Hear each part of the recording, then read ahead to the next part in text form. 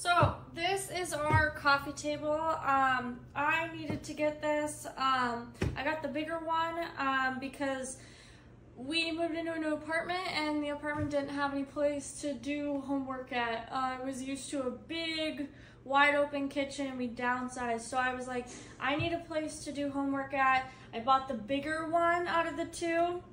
Um, and this is a decent amount of space. I'm pretty happy with the amount of space I have um, so it has, you know, this obvious top. It has, you know, the inner little pocket and then also has that third layer. Um, one of the fears that I had that did kind of come true was I was a little concerned about being wobbly going up and that is something you do experience. Obviously, you have to open it with two hands and shut it with two hands.